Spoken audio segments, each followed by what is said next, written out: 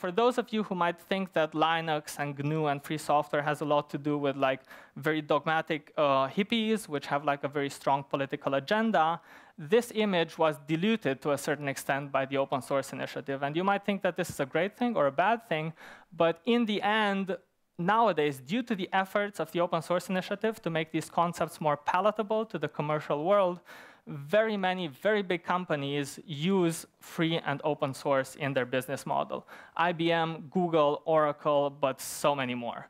Uh, there are, of course, companies which are based entirely on free and open source, but these companies aren't, though they use it very intensely. So the commercial world has recognized for a very long time that free and open source software is great. And they do use it internally, and they also do develop it. Uh, sometimes they want to sell other things to people, just so that they are in a position of more power and making more money. But I think with time, this, this is starting to fade uh, and better business models are starting to develop. All of this owing in the, in the incipient phase to the open source initiative. Uh, in the end, like I might have presented this contrast, like this sort of schism in the free and open source world, but for most pragmatic reasons and purposes, they work together. So people have been interviewed on both sides of the argument, and generally they, they, agree on most issues on what has to be done, which is why we generally use the moniker free and open source software. Some people say free and or open source software, just to refer to the fact that although these people might think differently in their heads, uh, what they end up doing the on the computer in the end is very often quite close to each other. Uh, the way in which you can flag a piece of software as free and open source is licensing. Yeah? So generally, when you write a piece of software, you automatically have a copyright on it. Yeah? Uh, if you want to make it free, you could think of releasing it in the public domain, like not having a license, but that has a lot of problems because in some, some jurisdictions you might not be allowed to do that, or that might make you liable if the software like breaks anything, or, or it might allow people to like just take the software, change a tiny bit about it, and, and make it proprietary again. So the public domain has a number of drawbacks. It would be the simplest, most intuitive way to go about this, but generally if you want to make sure that software is free and open source, you license it. And the most prominent license in the free and open source world is the GPL license. It is a license made by the Free Software Foundation, Actually, it is a series of licenses. They update it from time to time to make sure that it's, it faces the current challenges to freedom, which, which the modern world poses. And generally, they are based on the four freedoms, which I told you before. And the license, of course, is a very, very long legal document. But the main bullet points, like summarized shortly, are that the GPL license, the moment you put a product under the GPL license, you grant it to others, you're still the owner, but you guarantee to others that they have the program, uh, that they have the freedom to run the program as they wish for any purpose. Yeah? Very often in very many in very many pieces of proprietary software, you are not allowed to do whatever you want with the software. You are allowed in the free software world. It gives people the freedom to study how the program works and to change it so it does their computing as they wish. That's another problem I mentioned earlier, namely that with proprietary software, you get a binary, you can't really modify it, and in many cases, you're also not really allowed to modify it. In the free software world, you are. So if you get a piece of free software, you can study it, and you can modify it so that it does exactly what you want. You also get the freedom to redistribute copies, so you can help your neighbor. So if some, somebody else wants the software, you can just give it to him. Yeah? And the freedom to distribute copies of your modified versions, which I think is basically the pinnacle of these points. So you get a piece of software. You see how to make it better. You can make it better, and you can give it to your neighbor, right? And you might think that this doesn't really apply to you if you're not a programmer, but in fact, it does and we'll get to that a bit later. Um, the next license, the BSD license, is more from, so to say, the open source initiative corner of the movement, and it's very minimalistic. Basically, the BSD license is like an improved version of the public domain in which it protects you from liability. So these are the three clauses of the, of the BSD license. BSD, BSD stands for the Berkeley Software Distribution, which was the, uh, the first piece of software licensed under this license. And uh, as you can see, the first two causes mainly are there to like preserve the continuity of the license to make sure that people can't just stick another license on it. And the last one is the important one. It, it's a point which protects you against liability. So basically, if you license your code as BSD, yeah, you say, okay, you can use this for whatever you want. You can distribute it in whatever fashion you want, but you cannot hold me liable if it does something which it's not supposed to do. It's, so to say, one of the freest licenses in the sense that people who use your product have very little obligations, actually close to none. And there can be addendums to it. For instance, there's BSD with attribution, where people who use it or redistribute it also have to attribute the original author. But generally, this is a much looser license than the GPL. And you might think it's better simply because it's smaller, it's more loose, or you might think it's worse simply because it doesn't guarantee the perpetuation of freedom in the same way in which the GPL does. And this brings us to our next, next big concept, which is, hmm? no? Okay, which is copyleft. Copyleft is not a license per se, it's a category in which very many open source licenses and open source products can fall. Yeah? Uh, it's a concept which, for instance, is represented in the GPL, the first license I talked to you about from the Free Software Foundation, but not in, BS, in the BSD license. Yeah?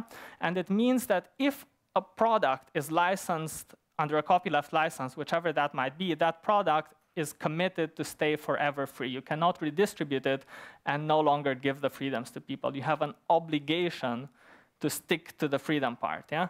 This is what's called viral licensing because it's supposed to spread and there is no going back. Uh, it also restricts sometimes interaction with non-free programs, for instance, library linking. That's, that's a big issue if you're interested in more of the technical side of it. Uh, and generally, this is a concept which kind of splits people because in a way saying that your product has for should forever maintain the freedoms which at the beginning get granted to people.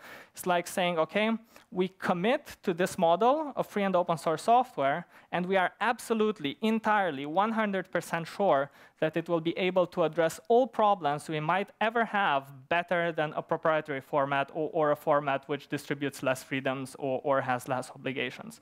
In a way, it guarantees you freedom, but it's a bit like locking yourself outside of jail. And you might think, well, OK, that's good. I'm outside of jail. Uh, but can you really be sure that you're never going to want to go back in there, like look what it's like, and maybe, I don't know. That's the thing. You make a very strong commitment to the fact that freedom is not a tool which happens to be useful now, but freedom is a sort of God which will forever dominate uh, the way in which software should be handled. Uh, some people find it problematic, and to give you an example of how this can spread and it can actually force you to forever stay in this environment, if you ever want to share anything from my presentation, you will have to make it completely free. Why? Because from all of the things I've shared with you, this picture back here, it's licensed under the Creative Commons, uh, Commons by, so attribution, share-alike license. Share-alike means that all derivatives of this work have to be shared under the same license. So my entire presentation has to be shared under a copyleft license. So if you want to share any other bit of this presentation as well, not just this picture, you will also have to use a copyleft license. This is how viral, viral licensing works, and this is why many people don't aren't that comfortable with it and think it could become dangerous. So I hope I gave you like a rough impression of what uh, free and open source software is and like the legal and moral concepts which lie behind it. But of course, if you're here curious uh, about how you can integrate all of this in your lives, if you're curious about using Linux or more free and open source tools, uh, you want to know what the advantages are, right? Like very many of these things sounded like, okay, maybe they're useful for programmers, but what do you as a user who might also become a programmer or be one, uh, get if you use free and open source software. Uh, the first thing which you get is performance. Uh, there is this sort of mantra of the free and open source world called Linus laws, and of course there have been studies trying to prove it, and, and some have, some haven't, uh, that given enough eyeballs, all bugs are shallow. So the point of this law, this mantra, is that in an environment where only very few people from one company can review the source code, it is much more difficult to identify and fix bugs than an environment where everybody can see the code. Yeah? More people looking, more things being seen, which is why very many people believe, uh, and there's data to support this, that free and open source software does tend to have less bugs than proprietary software. So you will tend to experience less crashes. You will tend to have increased performance, especially for older hardware, because in older hardware, there's been more time to like review everything, and maybe sometimes like the proprietary drivers have been able to be replaced by free and open source drivers. Uh, and of course, lots of proprietary software nowadays has a lot of services which you might not necessarily want running in the background. They, they take up memory, they waste your resources. Generally, you do get better performance with free and open source software. And if everything should still fail, if all of these advantages fail to materialize, if you still get a bug or a crash, you do get so much better support. This refers to both community support, simply because the community of developers is interested in their software being used, in them getting validation and recognition for that, and they will be able to provide you directly with competent help. You will not pick up the phone and, and get to talk to someone who has a flowchart and goes through the flowchart with you, and most of the flowchart assumes that you're incompetent simply because many people don't have that much insight into software, but you will be able to talk to the people who are most experienced about the software because they're part of a community, right? They're not hidden behind a company. Also, if you're like a company, and you're using the product or just a person who is willing to pay for support, which I, I, guess most of you wouldn't, but this is a very big advantage actually. With proprietary software, support is a monopoly. This is why the free support which you get is very bad, and the paid support which you get is also quite bad, but it's also very expensive, simply because you are forced to go for all of your support needs to this one company. There is no alternative, or very seldomly, and not that many. Whereas here, since everybody can see the code, support is a free market there is real competition. That's why you do get very good support. And even when you have to pay for it to get the absolute best support, it's often not as expensive as if you would require it from, from, a, soft, from a company distributing software around a proprietary model. Uh, another big advantage is, of course, education. You're, many of you are still students, and uh, by having insight into the software, you can become smarter and more creative. What I mean by this is you can understand in the limit of your interest and of your technical ca capabilities what the software does. And with time, your technical capabilities will grow simply because by random, over time, you will be curious, well, what does this actually do? And you will be able to find out and then you might have more questions. You might unwittingly end up becoming someone who is very good with computers. So actually, very many people might worry about the fact that, okay, Linux and free software is just for people who are like very good with computers, programmers, and so on. Actually, the inverse is true to a certain extent once you do start using Linux and free and open source software, it's not that you will have to become proficient with computers to use it, but it will be so easy for you to become proficient that very often you will end up doing just that. You will be able to learn valuable transferable skills in the sense that you will understand how a computer works and what exactly it can do. Very often when you do computer work and you write on your resume, well, I can work in Excel, what you're actually saying is, my skill is that I have learned the, a very complex and high-level interface which some interface designer thought was useful. That might be a good skill, which will help you solve some problems, but it's not really transferable, right? Because unless other products have the same user interface concept as Excel, you won't be able to use that in new contexts. But by being able to understand more about the computer and having more transparency in the programs which you use, you will have skills which allow you to deal with any sort of program which is on a computer. You will be able to like query many files at once for a certain string, look for patterns, replace patterns, uh, have skills which are applicable in many more contexts than just knowing one particular user interface. And of course, you will get better software habits. Yeah? Uh, you might ask yourselves, why am I using XYZ software? Why? And the answer is, well, because some, someone I've worked with is using it, uh, I've been taught about it in school, or my university, that's my favorite one. This is how, how the proprietary software world gets you hooked. Or my university and school has a contract by which they can offer me proprietary software for free, so I end up learning their user interfaces. I get stuck in that system, and once I'm out, I have to pay for it. Well, then again, ask yourselves, why a programmer, someone who is making free and open source software, is using a tool. Very likely, it's because they have looked at very many different tools and they have come to the conclusion that this one does the job in the best fashion. This is the best tool, right? And if you work in an environment which is strongly, where these people have a very strong presence and they talk to you and they advise you, you will end up get, uh, using tools which are objectively better, which are superior, which are more sustainable, which allow you to do more things in less time. Yeah? So people who use specialized computer tools, for instance, LaTeX instead of Word, or Git for version tracking. For instance, you might do your version tracking without any piece of software. You might have like a folder where you write your master's thesis, and you have master's thesis 1, master's thesis 2, master's thesis final version, master's thesis final version 2, and so on. Um, there's a system to do that in a considerably better way, using considerably less space, and also in the end being considerably faster. But you wouldn't know about it. I mean, some of you might. But if you spend time without any contact with the free and open source world, just trapped in this proprietary environment of, okay, Windows, a bit of Microsoft, a bit of Adobe, a bit of MathWorks, then you might not find out about that. And a lot of possibilities will seem quite opaque to you. Uh, another big advantage which you would get is empowerment. I've talked about this at the beginning, and I've mentioned it a few times. You do get something like a vendor lock-in, right? You rely on a company for support.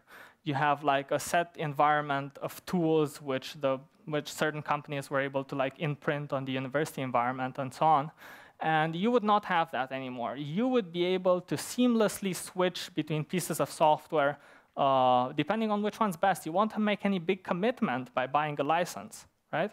you will be able to get the software directly for free from the source, which is usually distributing it for free because they want you to use it and to get, receive your feedback. Um, and you will be free of any constraints in that sense on your usage of the computer. You would also get control over any, any service running on your system. If the entire system is transparent and you can see what's going on behind the scenes and you can modify what's going on behind the scenes, if you can like edit the source, recompile, and then have a new binary, or if other people can do it, or if you can pay people to do it, none of which, by the way, you can do with proprietary software, then you can control everything that's going on on your computer.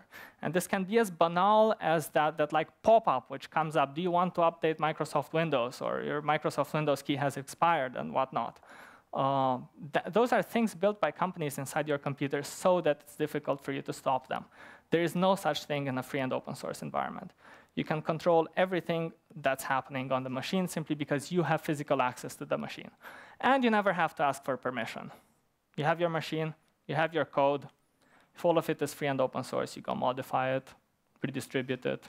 You never have to worry about obtaining any permission in advance or any legalese or talking to lawyers simply because this makes the entire development and usage pro process much more seamless.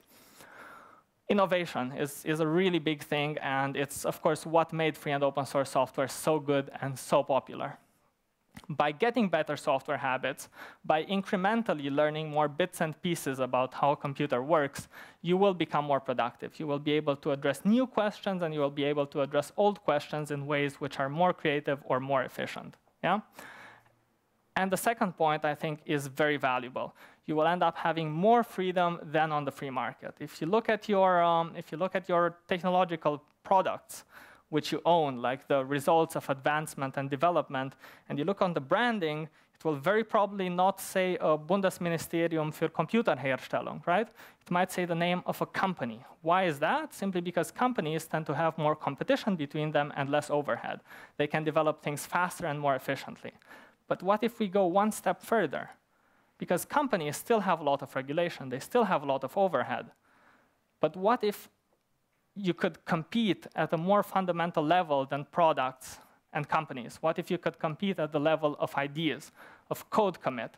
This is what's happening in the free and open source world, and this is what leads to the products becoming so much better, so much faster, and in, in fact to companies using them underneath the hood, like maintaining their corporate identities for the product and the branding, but actually using quite a bit of free and open source software on your mobile phone, simply because the development does give you the most freedom of all the development models, which of course allows you to be very innovative and very rapid in your work.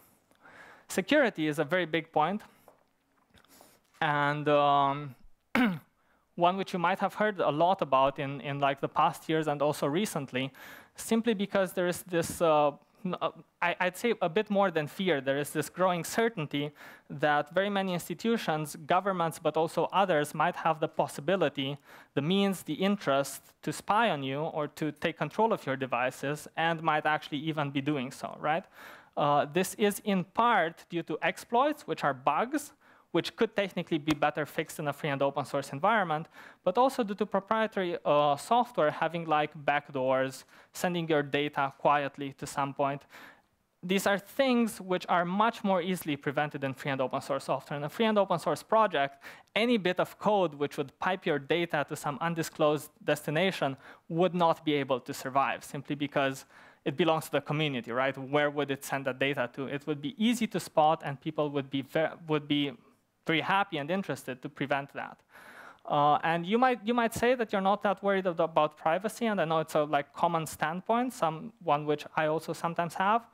Uh, but I think the, the last years, and I don't know if you're very uh, up to date with like the latest developments from WikiLeaks and the last bit of leaks on the CIA, uh, very many people might have been thinking, well, it doesn't really matter. The government is spying on me anyway.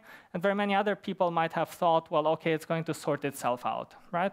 But the last set of information we got on this actually indicates that the problem hasn't become any bit smaller. If anything, it's become quite a bit worse. And even if you're not concerned about the privacy, even if you say, I don't have anything to hide, which for many of you might even be the case, uh, then think about it. With time, computers will not only have like read access to your lives via the camera and the microphone, they will also have write access to your lives because you will depend more on computers for driving you around, sorting your information, and I think that's where it really becomes problematic. I think you can say, well, I don't have anything to hide, but what you can't say is, I don't have anything to lose, which is why it's a twofold advantage. It's security and stability. Free and open source software can fix exploits faster, and free and open source software is very unsuitable for any backdoors. I think you had a question? But isn't it like easier to find exploits if you have the source code? It might be a bit easier, but it's also going to be a lot easier to counteract and detect and fix those exploits. If you have the source code in a company, especially if you're government and you have, you're a government and you have leverage over them, it's very easy to introduce exploits and introduce backdoors. The model which you're talking about on a free and open source project is there is an exploit which might, might be more easily detected simply because the code is visible. But then on top of that, you have to count the probability of the people detecting it wanting to break the project and not wanting to fix it. Most people who read the source code are people who develop the project who have each and every interest in making it great and not in making it bad. So the probability of finding an exploit is higher, but then again, the probability that this will lead to a, to a fix is also a lot higher. It is a bit of a two-edged sword, but experience indicates that um, it's a lot easier to get rid of exploits in free and open source software. Also, once an exploit has become known, as, has become, as is the fact with like the most recent set of leaks, which actually exposed quite a bit of exploits, it's, very, it's so much easier to check whether it was also fixed. Right? Because very many companies, I heard that there was a tweet from Apple or whatever, maybe I was misinformed, that they said, okay, we've taken care of everything. Well, maybe they have, but how would you know? No? And it goes beyond that, right? You use software which, is more transparent and which is thus trustworthy. Trustworthy in the same sense in which you want a government to be trustworthy. Software has increasingly much, uh, increasing, an increasing amount of power over your life, so you want to be able to trust it, and you can only do it if it's transparent. If you or other people who are better informed than you but who you trust can review the software and can be informed on what it does. In a company, the, in, in a proprietary software model, the people who review it are inside the company, right? Maybe you trust them so much that you say it's OK, but, but maybe you don't, right? Um, and of course, with free and open source software, you have access to better encryption simply because by definition, most encryption standards are like developed in a quasi-academic environment. They are reviewed by academics. They are reviewed by governments. So simply by definition, encryption standards have to be free and open source. Because if your encryption standard does something which, uh, if you don't know exactly how the encryption works, right, then in order to trust that, you would need to have utter and complete trust in the company which is selling this model to you. That, that's not an encryption model which will do very well. All popular encryption models are free and open source simply because you need to have insight in into how it works to be able to determine that it actually works. Uh, another big aspect and a big advantage of free and open source software is sustainability. It's uh, an argument which is very important to us, the alternative. And uh, sustainability might have some connotations which don't, don't entirely apply to this here, right? You might think of sustainability like feeling better about what you're doing because you've planted a tree or you've bought some organic product and averted the apocalypse and so on. This is a bit different than that, but it's still sustainability. Unlike any material good, human knowledge realistically has the potential to stay with us forever, right? And it's very important to reposit it, distribute it in such a way that it will never be lost, that the collective knowledge of mankind will never get to a level which is lower than what we have now, that the absolute worst case scenario is that we stay just as smart, right?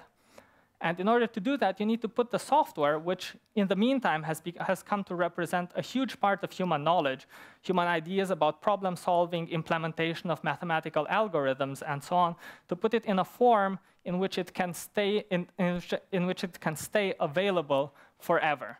Free and open source software depends on no single entity for its continuity proprietary software, the code for it is reposted by, by a big company and they're like secure servers. If something happens to that company, some calamity or simply some legal troubles, that can also be a big factor, then that code, that knowledge which has gone into solving problems via a piece of software uh, will be lost forever and for everybody. Whereas with free and open source software, it's public. It can be reposited by everybody, and it is reposited by many people. Uh, it is so much more difficult to lose it. Not least of all, it can always be improved, but never be made worse. Of course, there should be an asterisk next to that. It, it of course, can be made worse if the community as, as a um, collective makes bad decisions. Uh, but simply because free and open source software is often version controlled and so on, any modifications can be reverted and like the state of the software can only progress and the software can go into disuse only if it fails to perform right? There are no legal hurdles or material hurdles hurdles to the continuations of these projects. The only problems which they might ever encounter is that they no longer perform well. Uh, this is a much better way to address issues and a much better way to hold a product to some standards than relying on complex legal systems. Uh, not least of all, the software is reproducible and transparent. You notice I say transparent again. I said it in the last slides where I talked about transparent as in government. Here I mean transparent as in science. I mean comprehensible. People can learn about the software and understand what it does and have access to the knowledge represented in, in the code. Uh, and of course, it's reproducible. As I've told you before, software is usually executed as a binary and turned from source code into a binary by a process called compilation, right? You want to make sure that the binary which you get wasn't edited for, for trust, security, but, but also simply for performance reasons, right? And if the code is available, then you can make sure that the software is reproducible. If the code is not available, then of course you can't. Um, a couple of examples of popular free and open source software which exhibit these advantages I've listed to you uh, are, for instance, the Linux kernel. Many of you know the operating system, the main operating system in the free software world as Linux. Linux is the name of a kernel, which is a bit of software which simply distributes resources for other programs. It's very fundamental and very important for any computer. Uh, every computer has one. Linux is the name of the, of the kernel used by GNU Linux distributions, such as Ubuntu, Debian, Gentoo, Mint, and so on and it was developed by uh, Linus Torvalds at the University of Helsinki in 1991. Um, Linus Torvalds wa was a very good coder, continues to be one, but the success of this kernel is based as much, if not a lot more, on, free, on the free and open source world than on Linus' own competence. If you look at the percentage of the code now which he has written himself, it's vastly, vastly under a quarter. I think it's in the single digits, though I don't know the numbers exactly, right? The product has become so good simply because people had access to it, could make it better, and could distribute it back to the community. This was the main advantage. This is what helped Linux become such a huge thing. Uh, the backbone which Linux used for, for the operating systems, the associated programs for the kernel, uh, are usually developed by the Free Software Foundation, like very many of them, as, as at least in the incipient phase, uh, which is why some people tend to call these operating systems GNU Linux operating systems. Long before the Linux kernel came around, the, the GNU, um, how do you call it, the GNU movement. Uh, no, uh, GNU stands for GNU is not Unix, and it was, so to say, the, the software brand of the people of the Free Software Foundation. And they started developing a lot of pieces which you would need to create an operating system, like a compiler, which turns source code in, in C mainly uh, into machine-readable code, a lot of uh, desktop applications, for instance, the GNOME suite, and of course, very, very many other applications. Octave does numerical computing, GnuCash does, does finance management. They try to create an entire environment. And they were also working on a kernel, but it just turned out that the Linux kernel grew up faster, was better performing, so they just plugged that in. So generally, the, mo the most operating systems which you might end up using uh, after the Linux days are GNU Linux operating systems uh, in the sense that they use the Linux kernel and they use a GNU environment to provide like the basic or even more advanced uh, features which you would be expecting in an operating system. But there's, of course, so much more than just this. Yeah? The environment is highly suitable for developing projects, which is why if you would ask the question, well, can I do what, what I do on Windows or, or Mac or whatever you use in the free and open source world? The answer is almost always yes. But if you ask the inverse question, well, can I do with proprietary software everything which I can do with free software? Then the answer becomes no quite a bit more often. Simply because it's so much easier to get a free software project started it might not be, it might not make a lot of money at the beginning, but it doesn't rely on that. It relies on garnering enthusi enthusiasm in order to grow. Um, you get a lot of applications for the desktop. For instance, you all know the Chromium browser. You might be using Google Chrome's version of it. You might know everybody's second favorite browser, Firefox. Uh, you might know LibreOffice, which is like a free and open source um, replacement, so to say, analog of the Office suite. It's a very good example of free and open source software jumping into the slots, uh, like trying to mimic proprietary software simply in order to give you the possibility to do whatever you can do in the proprietary world in the free and software world. It's a very close, so to say, um, approximation. It provides closely the same functionalities as a normal Office suite. Uh, but of course, I've talked to you earlier about getting better software habits. And using free and open source software is very often about that. So LibreOffice is something which you can do in the free and open source world, but actually something which you shouldn't do in the free and open source world because Office suites have very high level interfaces, are quite complex, and actually don't allow you to address the problems which you want to do by like typesetting a document better than, for instance, LaTeX, right? LaTeX is what you should be doing to create documents. And of course, you can do that. If you want to do LaTeX in a proprietary environment, that's when you get a problem. But if you say, OK, I'm too entrenched in my software habits evolving from like Microsoft Office, I can't make the big leap to using a completely different document, document creation system, then you can still do this, right? So ju just to state it again, the arrow goes in both ways, but it goes more often in the sense in which you are able to do the things which proprietary software allows you to do in the free and open source world than vice versa. You have numerous multimedia players. You have MPV, which is a very minimalistic but very powerful video player.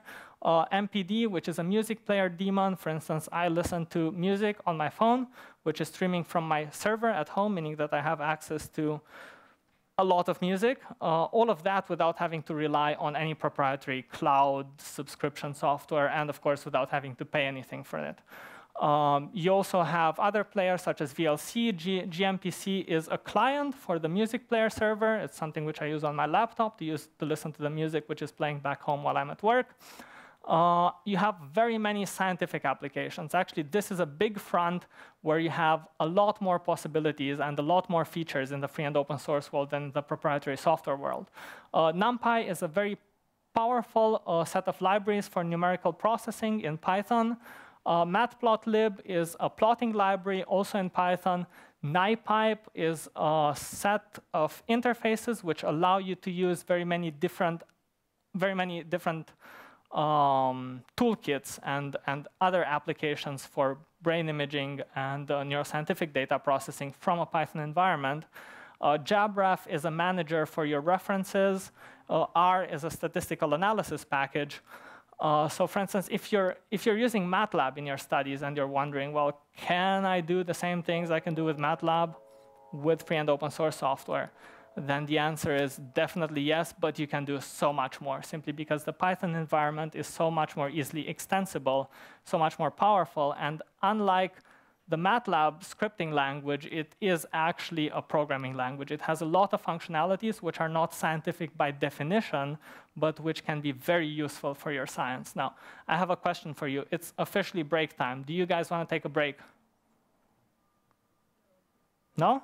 Okay, I'll take your word for it. No break it is. Um, yeah. Server cloud applications, this is a very big front for free and open source software simply because very many people who run servers want to make sure that they are secure, that they are performing well. So you'll see in some of the next slides, that's, that's one of the areas of software usage where free and open source software has a very big market share, so to say. Uh, if you're interested in graphics processing, for instance, I, I like to do photography and post-process my images, you can do that as well. You can use RawTherapee for for processing. You could say that this is an alternative to, to Lightroom. You can use GIMP if you want to do like raster imaging processes where you like selectively edit bits of your image. You could say that this is an alternative to Photoshop. Inkscape for drawing vector graphics. You could say that this is an alternative to, what's the proprietary version of Inkscape? Something like Corel Draw, I think. I don't even know if they make Corel Draw anymore. Um, and of course, so much more. If you have questions about any particular application, you can, of course, ask them at the end of the course, and we'll be happy to tell you more about that.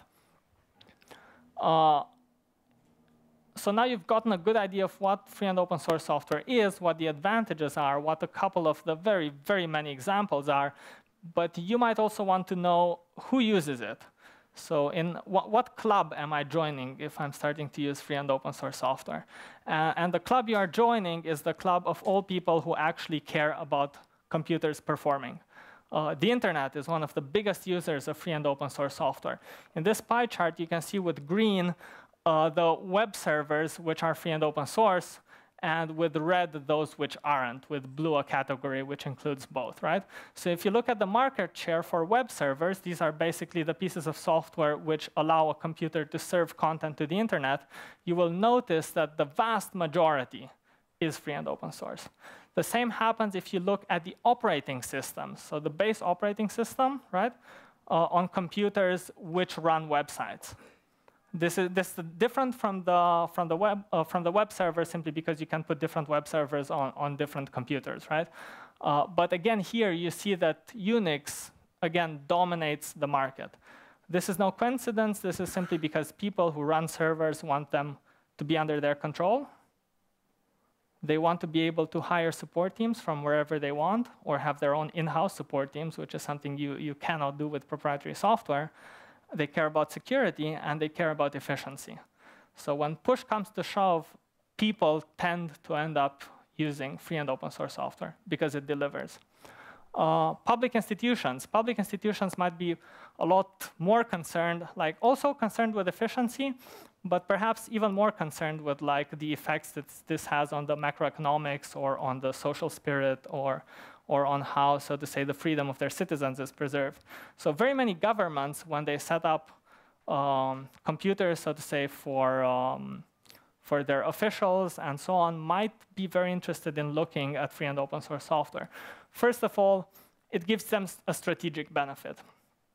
A big problem with using proprietary software, especially if your government is not the US American government, is that your government will end up depending on foreign companies for their software infrastructure.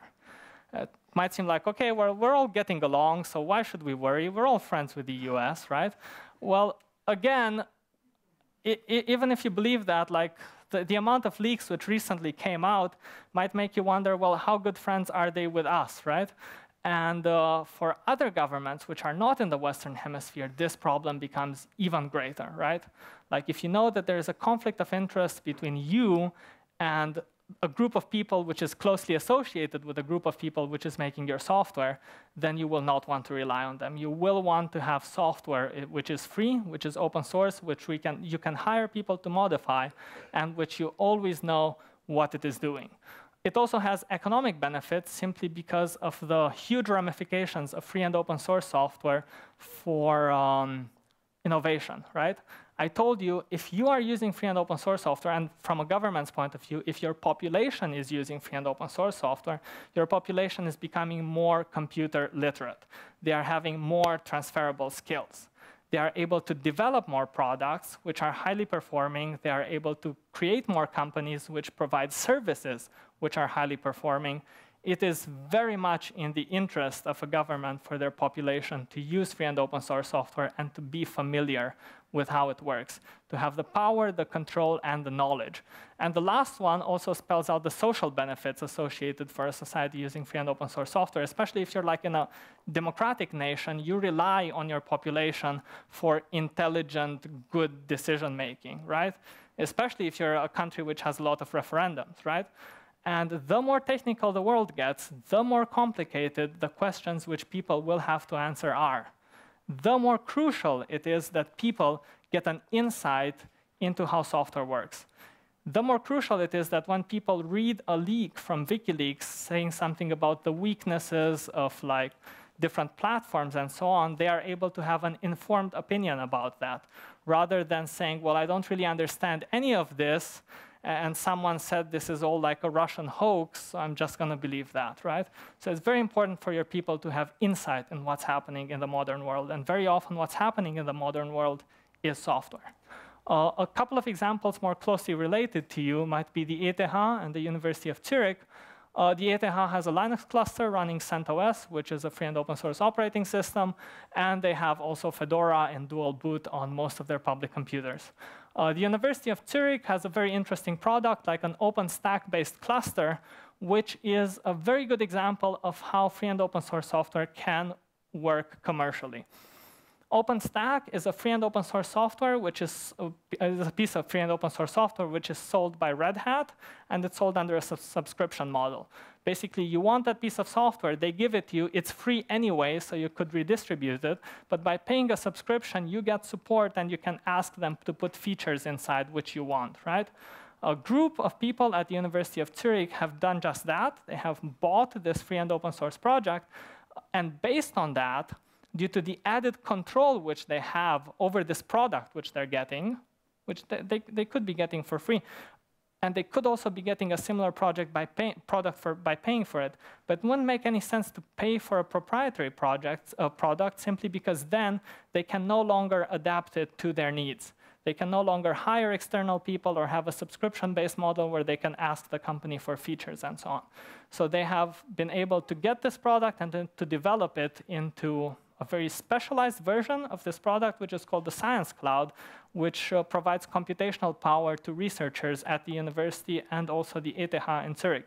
I personally use it, some of my colleagues use it, and it's highly performing, and it is an infrastructure which we would have had no hope of getting under a proprietary business model, where the company would have had to buy a product, which they can't really change, like where the University of Zurich would have had to buy a product, which they can't really change, and what's the interest that the company behind such a product would see that the research academic market is so big that they develop a specialized product for that? Well, the chances are pretty much null.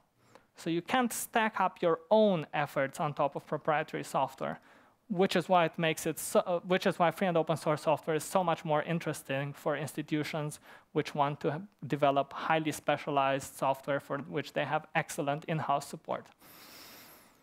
Google and a number of other businesses, while they might not be primarily a free and open source business, are using free and open source software. And sometimes are also distributing it, right? Uh, these are the, this is the popular Chrome uh, browser, which you might be using. And this is the equally, no, actually a tiny bit less popular Chromium browser, uh, which is simply the free and open source version of the Chrome browser. So what Google did is they developed this browser and they released the source code to the community, right? And the community continues to develop this browser, the Chromium browser. They have more eyes, they can find more bugs, they can make it better. And from time to time, Google takes a dip back in here, takes the code out, and integrates it into their product, in which they also have other bits of code. Uh, this is very good simply because it gives the community a highly performant um, browser to use and to develop. It gives them access to the in-house work done by Google, uh, but it also allows Google to, over time, profit from the work which the community does. Uh, this is a very interesting case because it also exemplifies how important um, non-viral licensing is, right? If this were licensed under the GPL, under the GNU public license, then Google would not be able to do what they're doing now. Then they might not have released the code to begin with, right? So if you're thinking, if at the beginning when I was telling you about the like two different positions in the free and open source world and about the different licenses, if, if at that point you thought, well, of course we have to make sure that everybody forever stays free, well, think about the fact that if we would have done that, you might not have been getting either of these. Other businesses which use free and open source as their main business model um, exist, for instance, Red Hat. Red Hat was one of the first, actually the first company to go public, like on the stock market, under a free and open source business model where they actually sell subscriptions and subscription-based products and support. They have a very diverse business model. They've been founded in, 19, uh, in 1993. And if you look at the beta of their stock price, for instance, this, this indicates a bit how volatile the stock prices are. You will notice that they are more volatile, but they are still highly correlated with the software market in general, and that they are not that much more volatile than, for instance, proprietary companies. Meaning that the company is behaving more or less like a normal software company. Free and open source works for businesses, and it's been working for over two decades. Uh, their products, I've talked to you about OpenStack. They do similar things with Red Hat Enterprise Linux and uh, CloudForms, which is simply like a meta manager for uh, different cloud computing platforms, such as Amazon's Elastic Computing and so on. Um, it's a very good example how you can put together the bits and pieces of the free and open software world and develop a new, more avant-garde, more radical, more volatile business model than just selling software, you know? Another big section of the users and the developers of free and open source software are the people who are susceptible to being persecuted, right? Uh, this, this is like a twofold thing simply because people who are susceptible to being persecuted might be prevented from contributing to free and open source projects, and they might also be uh, prevented from using, so to say, a lot of the software infrastructure to conduct their communication and so on. Uh, I've told you about the open source principles, which are 10 in number and which are, are linked at the end. Uh, principle number five is no discrimination against persons or groups, right? You might be reading this and again get a slightly distorted connotation, namely the way in which you hear no discrimination in, in, public discourse today. This is not about putting groups of people against each other and making sure that there is social justice and so on. This is something a lot more fundamental. This is not about the people, this is about the software. If you want your software to be as good as possible, and if you do believe that more eyes means less bugs and more features and higher quality and more rapid development, then you want to make sure that everybody can contribute to it. Yeah? This, this doesn't just include people who you might have some resentment on based on their like social group, but this might include people who, for instance, are whistleblowers, right? In a company, someone who has blown the whistle on your product because your product is doing something very bad will very likely no longer be allowed to contribute to that project. That, that's fairly simple logic. In the free and open source software, I dare say this is the kind of people you want on your project, right? Uh, marginalized regimes, you might think that people, simply because they have political opinions which are not, not yours or they are part of a regime or a political system which might be an enemy to yours, should not contribute to a software product simply because they, have, they might have malicious intent. That's not an argument. Everybody has to be able to contribute and they have to be judged on the quality of their contributions. Uh, this, of course, extends to criminals, which many people might have a, a genuine resentment towards, but nothing which you might ever do should be able to prohibit you from contributing to free and open source software. Equally, not from using it, right? And this is the logo of Tor. How many of you know what Tor is? Wow, very few people buying their drugs online this year. Okay, so Tor is an anonymity network which basically allows you to communicate with other people in what, what many people still believe is the best level of anonymity you can presently reach on the internet, right? And this is very important precisely for people who might rightfully, but also otherwise be marginalized, right? Free speech is a right, and free and open source software, often in such forms, but also others, allows people to continue having access to this right. And again, you might think, well, I'm not someone who's a criminal.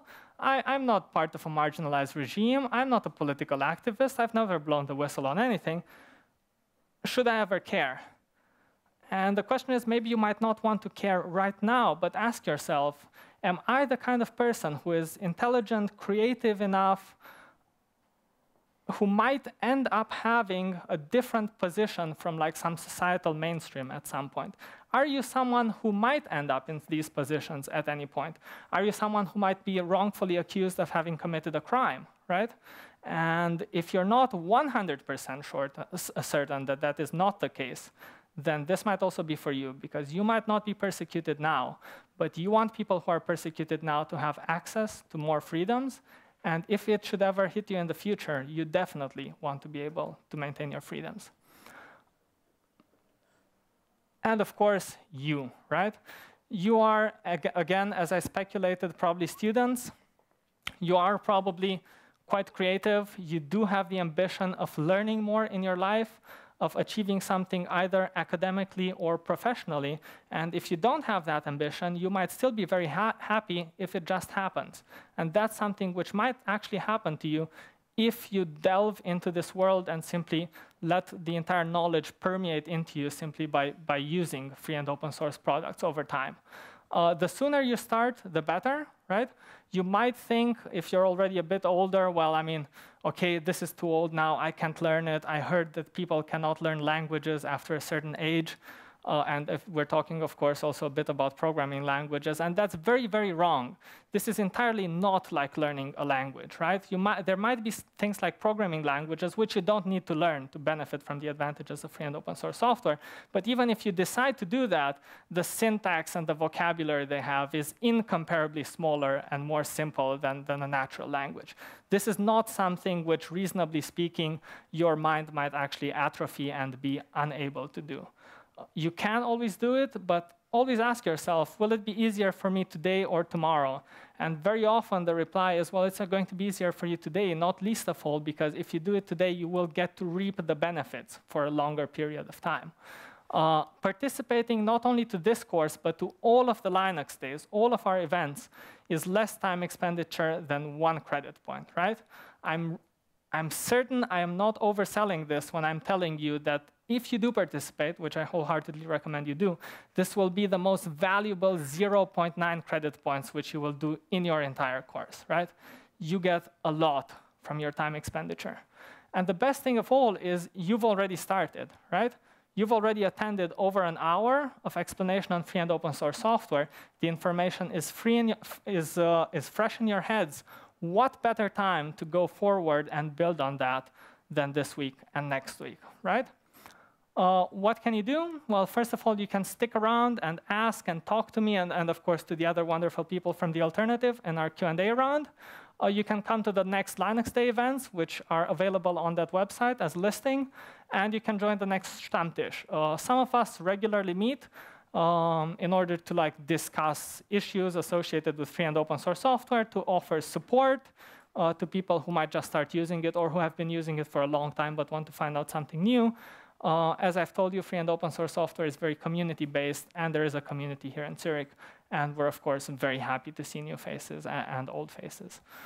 Um, if you're interested in these slides, uh, you can get the PDF from here. Of course, PDF is a binary format. It's compiled after a fashion. So if you're interested on the source code of these presentations, maybe because you want a good example for LaTeX, which is something I've told you you might want to be using instead of, uh, of uh, Office suites, you might see that under this link.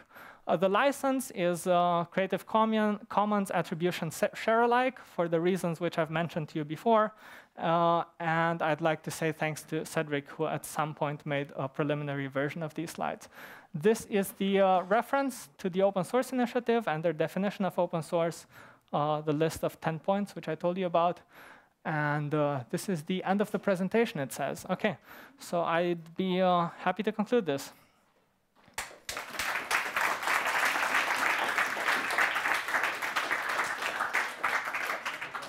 Course, not really to conclude this, to move on to the Q&A round. So any questions? Why is Munich considering to get out of uh, open free software? Really? Well, that was in the newspaper. Okay. After six or eight years. Okay, uh, it's in the newspaper, so it must be true. I don't want to cast any, I don't want to cast any doubt on that. It may very well be true, but uh, the fact in question is that I don't know anything about that. If any of the helpers do, I, I would like to hand it to them. Okay, so one popular reason why institutions might want to discontinue their usage of free and open source software is that they find out their, um, the people who work with them are either too apathetic, disinterested uh, in, in this platform, they are unable to get good support, and their usage is so rudimentary that uh, they are willing to like uh, just risk it and go with a proprietary software model simply to not need to have any additional support and things like that. But it's an argument which I've heard very, very rarely and actually only at the beginning, like in the early, from the early 90s, of course, I was not hearing much at that point um, about free and open source software. And I would have thought that would have changed. I actually don't know what's going on in Munich, but uh, yeah, I guess uh, I can't tell you much about that. But I Yeah. what I read in the newspaper about this is that uh, part of the people were still using Windows and part were using Linux, and so they had issues with compatibility. And the other point is that um, moving from is that some people had real difficulties in moving from uh, pro- Windows software to proprietary uh, to open source software Okay. on Linux. So that, that might be a very good argument. The way sometimes people feel reluctant about using free and open source software is if they're in an environment where everybody else doesn't and they feel pressured for compatibility of, or other reasons to stick around with the norm. I think that's a very insidious process by which uh, proprietary software companies might keep their user base simply by, for instance, what they tend to do in lots of educational areas, get the people hooked on their software and then hope that the environmental constraint will provide, prevent people from using better products. For instance, I see it myself as a scientist. I use Python for most of my scientific computing. In some groups, many people are so entrenched in MATLAB that simply they dismiss anything else simply for like very generic, ill-defined compatibility reasons. It might be that, though again, I, I haven't read that specific article. Um, I'm curious to know more about how free and open source software is financed. Can you give some Yeah. case examples there? The, the ways to finance it is very diverse. Um, so for instance, the BSD license, the Berkeley Software Distribution, and the MIT license, which are actually quite similar, uh, the licenses themselves and the initial software products were built around government grants. And that's why they also had an entirely different incentive, so to say, to stay free and open source, simply because the government grant mandated it. So that's one, one way they get financed via the government. But I dare say by now that's actually a minimum. Very often, they also get financed by companies who need either a stable backbone for their server, like a very good product, which they run to, to give you software as a service or simply to show you websites, or they simply want to make the support for something a lot better so that more people will be able to buy and use their software. Very many big companies, including IBM and Google, hire people and pay them exclusively to work on free and open source products. So simply to work on things which the company doesn't directly sell, but the existence of this product, these products in a free and open source environment makes the company's position and possibility to sell other products much more stronger. And I think this has grown a lot. Not least of all, very often people contribute to it without being paid. And you might think this is an unsustainable model or this is bad, but it's not really. Very often, when you solve a bug, when you're like a proficient computer user, or even not really that proficient, I, I have no formal training as a programmer, right? But when I address a bug in a data analysis kit, which I'm using, very often I'm not doing it for the community per se. I'm doing it for me because I want the thing to work, right? And I contributed back to the community simply because that makes my fix more sustainable. It gets permanently included in the software, right? and I also want other people to do the same. So very many contributions are actually personal contributions, which you do simply the way you would be improving anything else in your life. Yeah. um, how do you like bring your code back, your new like code back into the community? Like is it a system or a, a website or? So there, there are very many systems, and there have been many throughout the years. Uh, very many of these systems are based around version control. Yeah, uh, version control simply means that you can track what was edited when, and this is a very good system in which to collaborate because you want to be able to know who contributed what when, so that things don't get jumbled. Uh, the presently most popular content management system is uh, versioning system. Sorry, is Git. Um, and there are very many platforms using it in order to allow open source projects to collaborate and further develop. One of the most popular of these is GitHub. So most often you will find a free and open source project which you think is interesting or which somebody has told you about, maybe the ones which I've listed for you. And you can look them up on Google, and very often you will get a GitHub address for that, for that product, where you can log in, you can clone it, get your own copy, do some edits, and then ask the owners to pull your edits back. This is a very transparent process. Uh, if you're interested, I can actually show you a bit of it. Are you interested? You want to see it? OK, that's very great. Uh, so this is, is this Git? Yes, this is Git. See, I was doing just that. So this is how the interface works. This is a project which I've told you about, Nipype, which allows you to concatenate functions from other which might not even be, be that free uh, data analysis pipelines into a Python-based pipeline. Uh, and here you can see, for instance, the code of the project, right? These are like the, the folders, the Docker image examples of how to use the code. This is a README telling you something about the code. This is a continuous integration check to make sure that the, the, the code isn't broken. And for instance, these are the pull requests. These are people who have who want something to be added and they made a pull request. For instance, they want to improve readability of the model gen examples, right? And this this is how, this is what he did. These are the commits which he added, and to, to, these are the files he, he's changed. So you can see exactly with green what was added and with red what was deleted, and people can reply to this and reach a conclusion whether they want to merge it or not, right? Uh, so this is how it works. It's a very simple, very transparent interface, which makes it difficult to like cheat or include things which shouldn't be included. So the owner or like the original um, developer does uh, review the new code and then integrate it? It depends a lot on the developer and the project. Some people might want to keep their projects very like close to themselves, so they like staying the main developer. But experience shows that once your project gets big enough, that's not a good strategy simply because you don't have the time to review like the thousands of pull requests a week, which you get for a big project like the Linux kernel. So very often as your project gets bigger and you have more contributors, you will find out whom can I trust, and you will also give those people permission to be able to decide whether something would be included or not. Yeah. Uh, maybe one thing, uh, actually reporting about is already considered uh, a contribution. Because when you, if you complain that something is not working, actually you discovered it, which is a lot of work in programming. And so when they when they fix it, they don't just do it for you, but they do it also for their product. So when you go and say, hey, this is not working, I do this and that, it crashes, that is already a contribution, even if you have absolutely no technical understanding.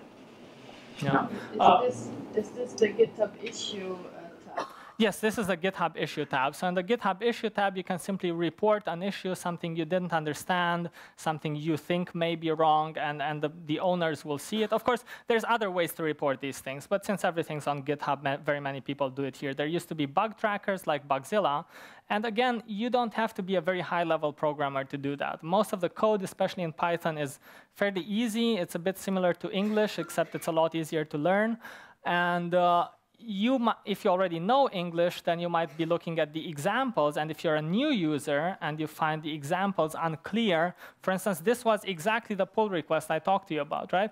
This guy was well noticed that the, the, the examples were not very readable, so he decided to do something very simple, probably to reformat and reword them in a way which, uh, which makes the examples more accessible to people. So regardless your level of technical knowledge, it's very easy to get involved. And each time you get involved, you get a tiny bit technically more savvy.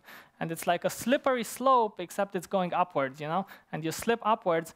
As I told you, I'm not trained as a programmer. I, I started using Python to do some data analysis for my bachelor's thesis. And without even realizing it, I ended up becoming quite good and doing a lot of coding. And uh, this is actually the story of very many people, especially in the academic world. You mentioned several examples of open source software.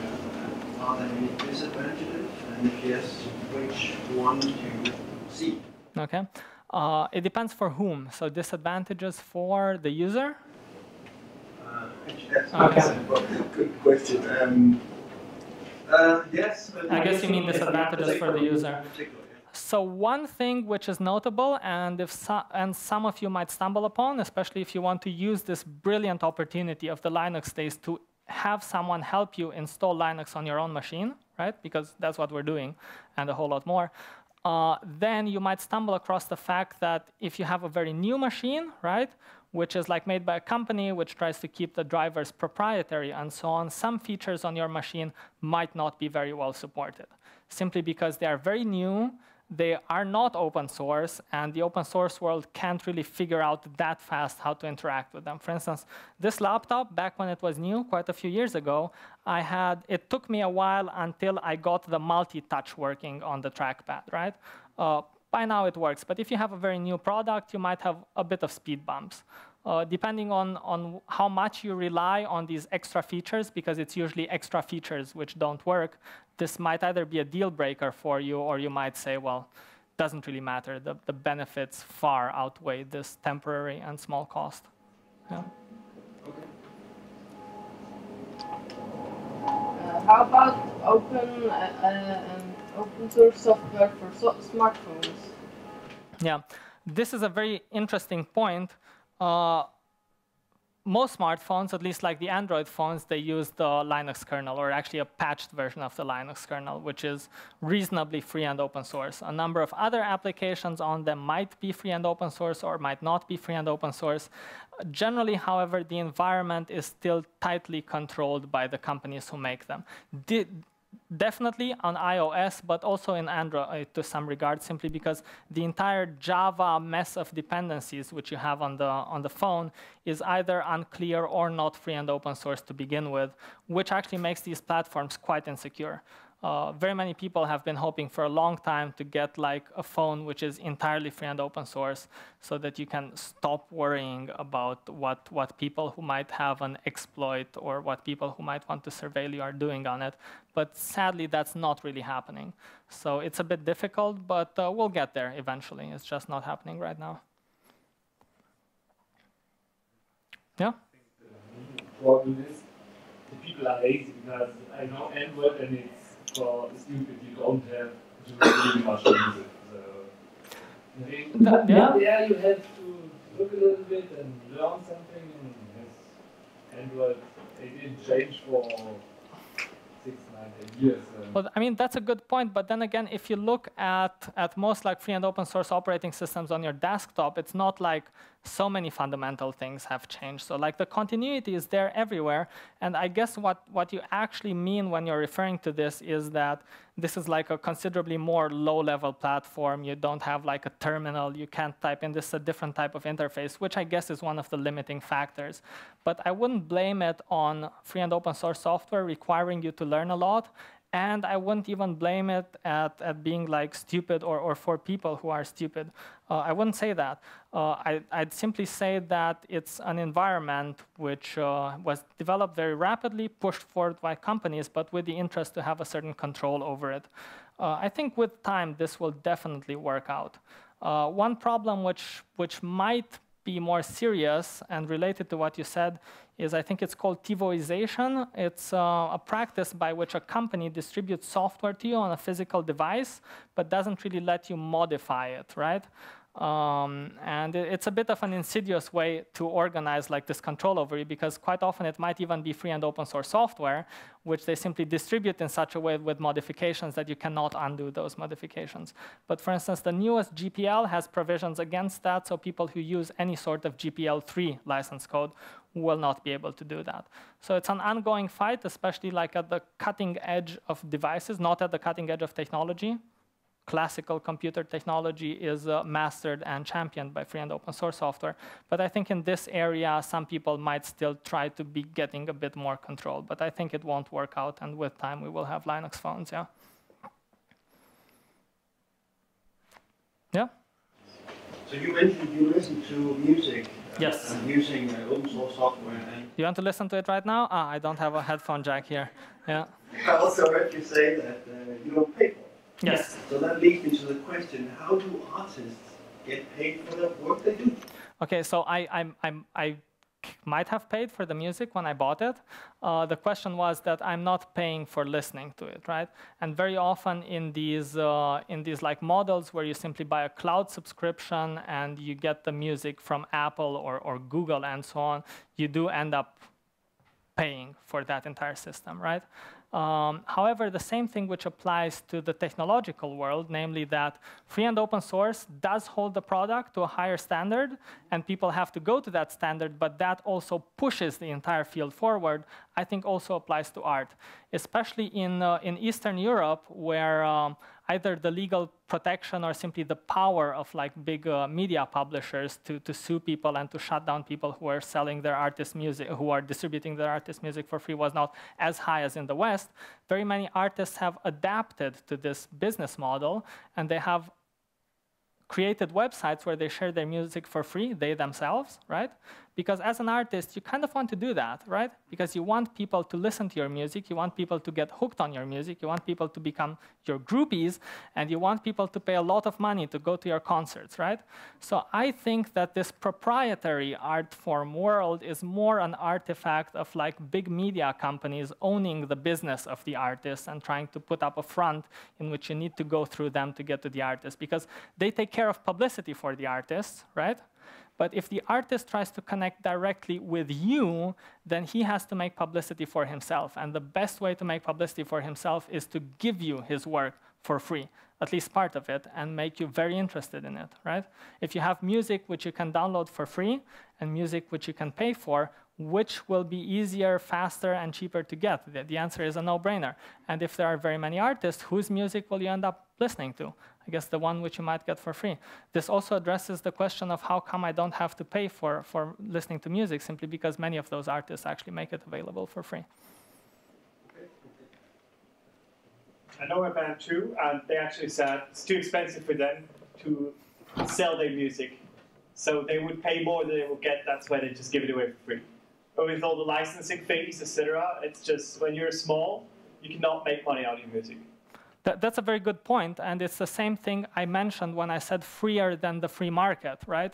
The free market might be more free than like a government-sponsored program, right, and have more competition, but still it has a lot of overhead, and it has a lot of hurdles to competition simply because you have to go through lawyers, through patents, through distributors. If you can compete at the level of the product, then that will make it far more easier for talented people to get into the field, distribute their product, and, and it will also lead to the best product being distributed, not to the one which might play and interact best with like this corporate infrastructure. But you still don't answer my question. Namely? My question is, will the blockchain solve the financing question? Will the, sorry, the? The blockchain, will that solve the financing question? I mean, musicians also have to buy groceries. What, what do you mean by the blockchain? The blockchain, that, as I understand, No. it enables people to easily uh, pay each other. Ah, okay. Uh, that, that's a different thing. That's like uh, a, mi- a micropayment or like this, this Bitcoin payment system. This, this is something different entirely. Yeah, yeah. But if, if your question still remains where do artists get their money, is from different business models, which very often rely on them getting money from concerts. Do you feel like some of the reasoning which are applied, for example, for freedom of use in Tor could be applied for example, freedom of carrying a gun? And I mean, like many people agree that carrying a gun should be prohibited. And I I walk around in Zurich often and I see people with guns. I walk around in Zurich often and I see people with guns. but many people, I mean, for many people, it's reasonable. Some limitation should be there. Or, for example, distributing of drugs. Well, you might, so yeah, to address your, sorry, go on, I'll, I'll answer at the end, yeah. Yeah, so you're presenting us proprietary software as some kind of evil. Isn't it like much more complicated than that? Mm, no, so I mean, I, I, think these are like two separate issues. The first one is communication and free speech is considered a right in most countries in the world, right? This is something you want people to have.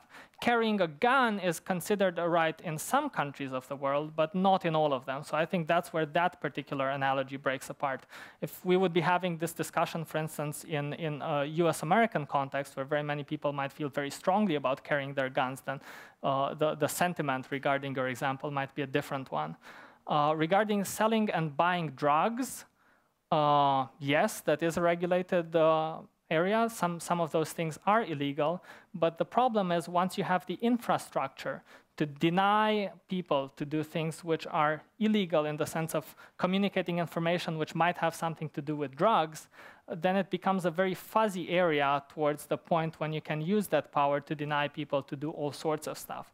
It's very good that there is an infrastructure which does not allow anybody, regardless of how noble their cause is or how noble they say their cause is, to interfere with your basic freedoms. I think that that's a very good point, and that's why Tor, I think, continues to be very valuable, right? But isn't it like even the people who are fighting against rights, they mm-hmm. sometimes overuse their power, and we're aware of it, but we still agree that even though have some disadvantages, we support those people and we support the idea that you you may support them, other people may not support them, but that's more of a political and less of a technological discussion, right? People who fight against drugs can also fight against the spread of drugs using Tor, right? They can set up honeypots and try to attract sellers. The question which we are addressing here is that you have an infrastructure which makes it impossible, or at least very, very hard, for a set of basic freedoms, including speech and communication, to be denied to you for whatever reason. And I think no matter how much you stand by the, the people who are fighting against drugs and against all other sorts of criminality, you, you might agree that this never or seldomly puts it in a position where it is at all justified to strip you of your basic freedoms, right? I think um, we're talking about a model that does not consider good or bad, just guarantees those freedoms. So it's not necessarily a question about judging what is a good freedom, what is a bad freedom, which freedom we're supposed to give. It's just about everything. And uh, whether or not uh, this is actually good or bad depends on political position that you have. I mean, uh, if you go uh, east, you will find many countries who have limited access to some websites that here we consider perfectly normal, such as Facebook, such as even YouTube, uh, with the, I think about two years ago in Turkey. Uh, and the thing is that these technologies makes it harder even impossible for governments to just arbitrarily prohibiting people from visiting that kind of website. Of course, that can be misused, but this is not a technological question. This is a, a question about morality. Yeah, but for example, like in China, you have this firewall which is actually working, and people have no access to this website and it feels like it is like that because I mean, like in Russia, it doesn't work because it's not economically justified. There but I, high reason why. Again, I, I guess you are you are like drifting off into a political niche, which is of course very interesting, and which I think some of us here do have strong opinions on. But this is not a matter of technology, right? Free and open source is simply about giving people the power to have as many liberties as possible, right? And you might think, well, that's against the law and so on. Well, very often the law is not one step ahead, but one step behind morality. And if you look at morality, very often morality is not one step ahead of technology, but one step behind it, right? So we're two steps ahead of the law. Not that we're doing something illegal, but this is shaping the world of possibilities of tomorrow to which our, to which our morals will, will then apply and to which then the laws will apply. This is an entirely different concept, simply about setting up a world in which it is more difficult to create barriers and to prohibit cooperation and progress, including and especially in the area of software development. Uh, but uh, if, if, you're still interested in, in the political issue, we're, we're not really a political organization, but you can show up at the Stammtisch and, and talk to us more about it. I'm sure we have a lot of opinions on that. And I have a question about um, this open and free software in embedded systems or also Internet of Things, also especially for the safety concerns they have. Mm-hmm so I mean, this is the TiVoization I told you about. So very, very often companies might want to sell you like a smart TV manager, which they pack full of open source software because that's what perf it's performing well. And then they add some proprietary add-ons to it, or like they pipe your data around and do things which you may or may not want done but they don't give you any way to like change it, or they have like bootloaders which like only load stuff, which they have the checksums inside for. So weird stuff. Um, I, I, guess the question is, this can become a problem, but the GPL license vers version 3 fights against it, so it, it might be less of a problem or more of a problem in the past. One thing we know is that if it becomes more of a problem, there will be more efforts from the free and open source um, community to curb that. Uh, ideally, embedded systems are not so much more different from other kinds of systems. It's just that they're very specialized. And just like he said about the phones, if like the user, face, user interface or the amount of things you can do is smaller, then it becomes easier for companies to put a brick wall in between you and the, the computation, right? I mean, that brick wall might be a layer of plastic and, and no connectors to edit it, but that, that's enough to like restrict the freedom of very many people. Yeah. And does the company see if I turn on Android, talk the smartphones Samsung. Um, do I lose guarantee or something like this? That, that's a very interesting thing. You, there might have been a contract. I don't know if there might have been a contract. You might lose warranty of the product, and there, there are like modified versions of the Android kernel and so on. Um, do, do, you know anything about this? Yeah. Uh, on a Sony smartphone, um, there is a possibility to unlock your phone so that it will boot something else than the system that is on it. Um, I, don't, I don't have any proof for this, but this is what I've heard and read. So I'm not perfectly sure, but I think this is the way it is. If you do that, there will be physically on a chip on the phone a code, a secret code deleted.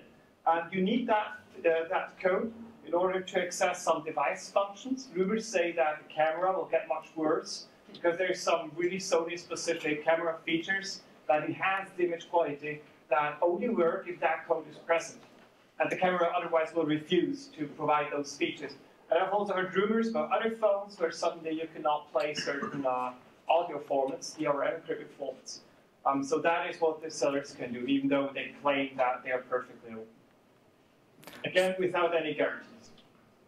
So as with DRM and TiVoization and other technologies, companies have tried to curb the, the freedom inherent in free and open source software because they want to benefit from the advantages they have, but they still want to have like more power in their relationship with their users.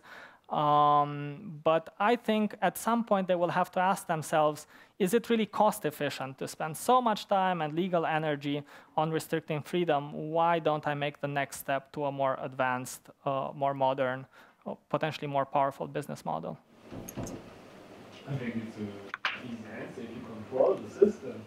So you can say, so for this model we give a new uh, backup and some apps like WhatsApp, Facebook, uh, apps everybody needs, and they say no, for Android uh, 5.0 we don't uh, give the backup and control the market I mean, you, you can. You you can try. You can try, but in the end, that might create uh, discontent with your customers, and that might actually motivate the market to produce uh, other products, right? So I mean, uh, but this is another thing. It's not just about motivating the market to produce other products, right? Uh, a thing which I heard Richard Stallman say, which uh, he might not have thought about, uh, thought of himself, is that a choice of masters is not freedom, right? That's why it's more important with free and open source software, you don't just get the choice between different companies which may or may not satisfy your freedom and information needs, but simply you get direct access to the software. You can modify it. You don't like get to choose between five different people who offer to modify it for you, right? No other questions? Okay, we were kind of enjoying this. Okay, we've had a lot of questions from there. No, no questions from this area. No? Okay. Uh, then that's great. It was really nice to have you here. I hope you will attend the rest of the Linux days and uh, that we might see some of you at the Stammtische. We're very happy to uh, accompany you on, on this journey and uh, teach you as much as possible about Linux and how to use it and how to make it work for your very specific use case. And there's free beer. Apparently, there's also that, yeah. so there's not just free as in free speech here, but also free as in free beer. So the full package.